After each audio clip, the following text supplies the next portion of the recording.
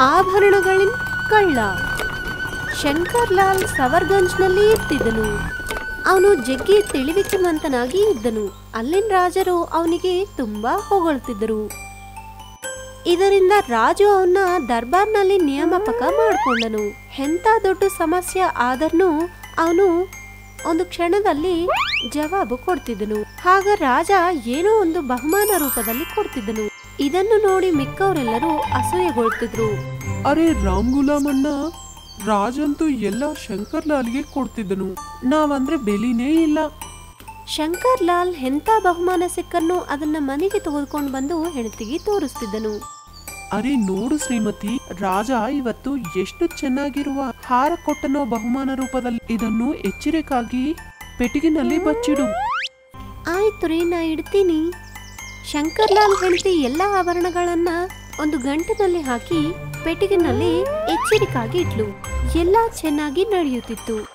ಆದರೆ ಆಕಸ್ಮಿಕವಾಗಿ ಅಲ್ಲಿ ಒಂದು ಮಹಾಮಾರಿ ವ್ಯಾಪ್ತಿಯಾಯಿತು. ಎಲ್ಲರೂ ಅಲ್ಲಿ ಅನಾರೋಗ್ಯ ಪಾಲಾದರು. ಸ್ವಲ್ಪ ಜನರಿಗೆ ತೀವ್ರವಾದ ಗಾಯಗಳಾದವು. ಇದರಿಂದಾಗಿ ಎಲ್ಲರೂ ಅಲ್ಲಿ ನಿವಾಸ ಬಿಟ್ಟು ಹೋದರು. ರಾಜ ತಂತ ರಾಜ್ಮಹಲ್ನಲ್ಲಿ ಖೈದಿಯಾದನು. ರಾಜ ರಾಜ್ಯದ ಕೆಲಸಗಳೆಲ್ಲ ಬಂದ್ ಮಾಡಿದನು. ಮರ್ದಿನ ಶಂಕರ್ಲಾಲ್ ಹೆಂಡತಿ ಮಗನ್ನ ಕರ್ಕೊಂಡು ಅಲ್ಲಿಂದ ಹೊಂಟು ಹೋಗ್ತಾ ಶಂಕರ್ಲಾಲ್ ಜೊತೆ ಹೀಗಂದಳು. ಸರಿ, ನಾವಿಲ್ಲಿಂದ ಹೊಂಟೋಗ್ತಾ ಇದ್ದೀವಿ. ನೀವೊಬ್ಬರೇ ಇಲ್ಲಿದ್ದು ಏನ್ ಮಾಡ್ತೀರಾ? ನೋಡು, ನಾನು ನಗರದ್ದು ಕಾರ್ಯಚಾರಿದ್ದೀನಿ. ನಾ ರಾಜ್ಯದ್ದು ಸೇವಕ. ಗ್ರಾಮ ಖಾಲಿಯಾಗಿರುವುದನ್ನು ನೋಡಿದ್ದು ಕಳ್ಳರು ಅವಕಾಶ ತಗೋತಾರೆ. ಮತ್ತು ಎಲ್ಲರ ಮನೆಗಳಲ್ಲಿ ಕಳ್ಳು ಮಾಡ್ತಾರೆ. ರಾತ್ರಿ ಕಳ್ಳರು ಶಂಕರ್ಲಾಲ್ ಮನೆ ಕಳ್ಳು ಮಾಡಲು ಬರ್ತಾರೆ. ಆದರೆ ಶಂಕರ್ಲಾಲ್ ಮೊದಲಿಂದೇ ಸಾವಧಾನವಾಗಿ ಇದ್ದನು. ಶಂಕರ್ಲಾಲ್ ಮನಸ್ಸಿನಲ್ಲಿ ಅವ್ರಿಂದ ತಪ್ಪಿಸ್ಕೊಂಡು ಅವ್ರನ್ನ ಹಿಡ್ಕೊಂಬಲು ಒಂದು ಉಪಾಯ ಉಳಿಯಿತು. ಕಳ್ಳರು ಆ ಕಿಟಕಿನ ಸಮೀಪ ಬರುವಾಗ ಶಂಕರ್ಲಾಲ್ ಜೋರಾಗಿ ಕೂಗಾಡಿದನು.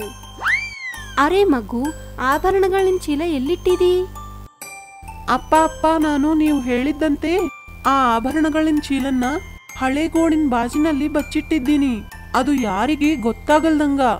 ಶಬಾಷ್ ಮಗು ನೀವ್ ಒಳ್ಳೆ ಕೆಲಸ ಮಾಡಿದ್ದಿ. ಕಳ್ಳ ಶಂಕರ್ಲಾಲ್ ಮಾತನ್ನು ಕೇಳಿ ಮನಸ್ಸಿನಲ್ಲೇ ನಕ್ಕೊಂಡನು. ಅಜ್ಜ ನಾಳಿಗೆ ನಾವಲ್ಲಿ ಹೋಗಿ ಆಭರಣಗಳನ್ನ ಕಳ್ಳು ಮಾಡೋಣ. ನಡಿ ನಾಳಿಗೆ ಇವತ್ತು ಬೇರೆ ಮನೆಗೆ ಹೋಗೋಣ. ಹೀಗ್ ಹೇಳಿ ಕಳ್ಳರಲ್ಲಿಂದ ಹೊರಟೋಗ್ತಾರೆ. ಮರ್ದಿನ ಶಂಕರ್ಲಾಲ್ ಕಳ್ಳರಿನ ಹಿಡ್ಕೊಂಬಲು ಉಪಾಯ ಯೋಚಿಸಿದನು. ರಾಜನ್ ಸಿಪಾಯಿಗಳನ್ನ ಕರ್ಕೊಂಡು ಹಳೆ ಗೋಡಿನಲ್ಲಿ ಬಚ್ಚಿಟ್ಕೊಂಡನು. ರಾತ್ರಿನಲ್ಲಿ ಕಳ್ಳರು ಅಲ್ಲಿಗೆ ಕಳ್ಳು ಮಾಡಲು ಬಂದಿರುವಾಗ ಸಿಪಾಯಿಗಳು ಅವನ್ನ ಹಿಡ್ಕೊಂಡು ಜೈಲ್ನಲ್ಲಿ ಹಾಕಿದ್ರು. ಕಳ್ಳರನ್ನ ಹಿಡ್ಕೊಂಡದ್ಕ ರಾಜು ಶಂಕರ್ಲಾಲ್ನ ಹೊಗಳಿದನು ಮತ್ತು ಅವನಿಗೆ ಬಹುಮಾನ ಕೊಟ್ಟನು. ಶಂಕರ್ಲಾಲಣ್ಣ, ನೀ ಮತ್ತೊಮ್ಮೆ ನಿರೂಪಣೆ ಮಾಡಿದಿ. ಪರಿಸ್ಥಿತಿ ಹೇಗಿದ್ರು ಅದನ್ನ ಪರಿಷ್ಕಾರ ಮಾಡುವ ಮಾರ್ಗ ನಿನ್ಗ ಗೊತ್ತಿದೆ ಅಂತ. ಧನ್ಯವಾದಗಳು ಮಹಾರಾಜ.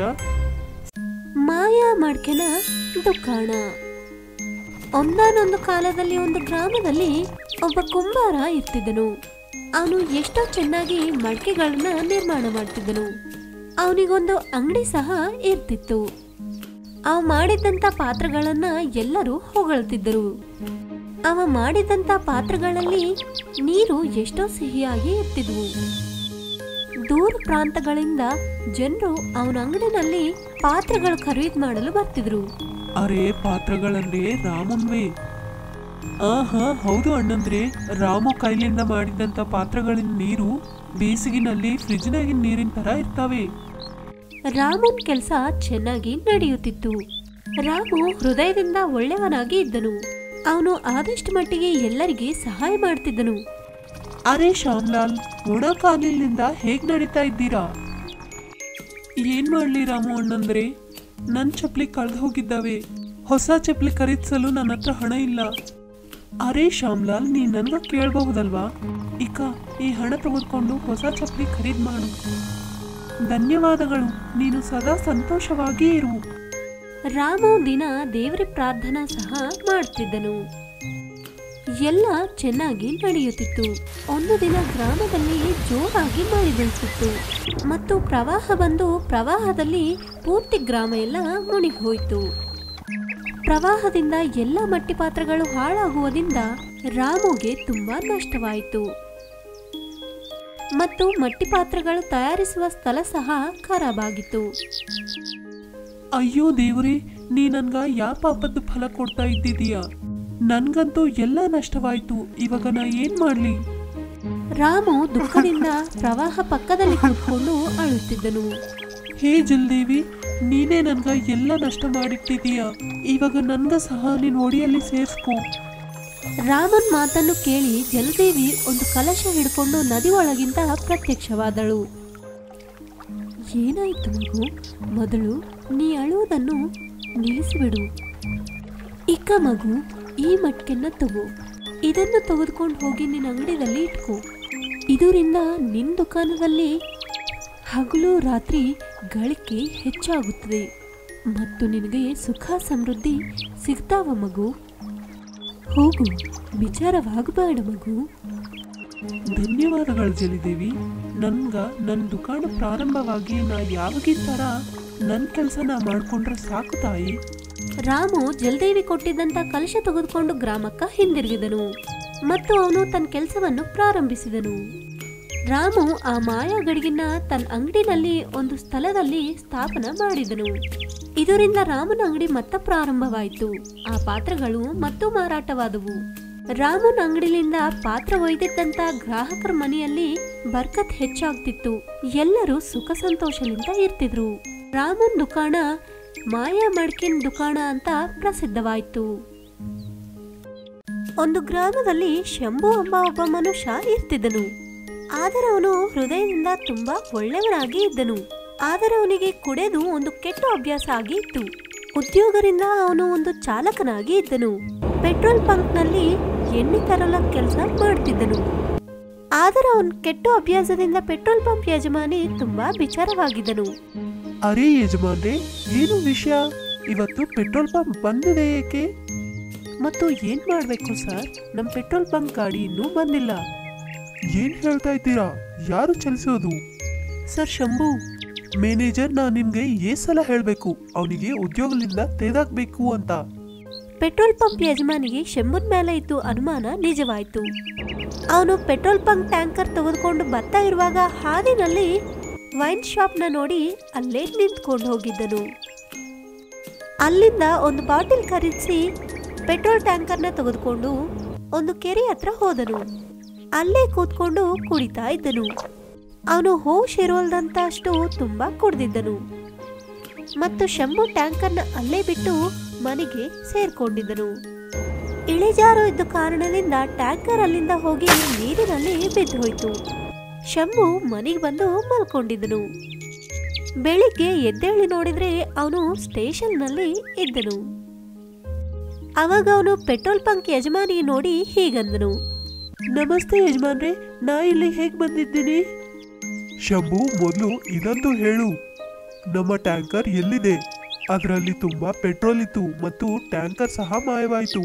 ಹೇಳಿ ಎಲ್ಲಿ ಬಚ್ಚಿಟ್ಟಿದ್ಯಾ ನೀನೇ ಅದರನ್ನು ಮಾರಿ ತುಂಬಾ ಕುಡ್ದಂಗಿದ್ದೀನಿ ಅರೆ, ಇಲ್ಲ ಇಲ್ಲ ಯಜಮಾನ್ರೆ, ನಾನಂತೂ ತುಂಬಾ ಕುಡ್ತಿದ್ದೀನಿ ನಿಜವೇ. ಆದರೆ ಟ್ಯಾಂಕರ್ ಎಲ್ಲಿದೆ ಎಂಬ ನೆನಪು ನನಗಿಲ್ಲ. ಟ್ಯಾಂಕರ್ ಸಿಗಲ್ದ ಕಾರಣದಿಂದ ಅವನಿಗೆ ಶಿಕ್ಷೆ ಬಿದ್ದಿತ್ತು. ಶಿಕ್ಷೆ ಮುಗಿದ ನಂತರ ಅವನು ಗ್ರಾಮಕ್ಕ ಹಿಂದಿರುಗಿದನು. ಆದರೆ ಅವನು ಟ್ಯಾಂಕರ್ ಎಲ್ಲಿ ಮಾಯವಾಗಿದೆ ಅಂತ ಯೋಚಿಸ್ತಿದ್ದನು. ಅವನು ಕುಡಿದು ನಡ್ಕೋತ ಹೋಗಿ ಅಲ್ಲೇ ಕೂತ್ಕೊಂಡು ಇದ್ದನು.